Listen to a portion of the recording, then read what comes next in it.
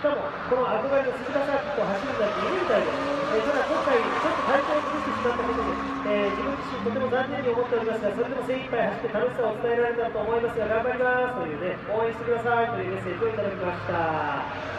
さあといういろいろですねメッセージをそれぞれの皆さんに頂戴をいたしましたけれどもさあ、今、残りまもなくチェッカーというところまでやってまいりましたが、タイムはどうですかね、さあ、今、チェッカー2つが離れました、エドランオーナーズカップ第7戦です。トップタイムをマークしたのは、お最後、岸野春夫選手、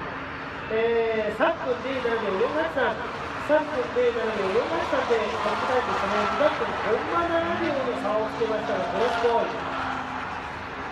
2バッテリー3秒08、えー、3分08秒24な2バッテリーに対して、えー、0秒764というタイム差をつけました3バッテリーは34番の増本選手が3分08秒536 4バッテリーは38番の岩間選手が3分08秒59で5バッテリーは111番の野島選手が3分09秒12で6バッテリーは36番の阿久津選手3分09秒245という結果になっておりますですね。L1 オーナーズカップトップ63分07秒から09秒までというところでしょうか。さあ現在ランキングトップの岸野春夫選手が、えー、ここでもファステストラップをマークしたということになりましてね。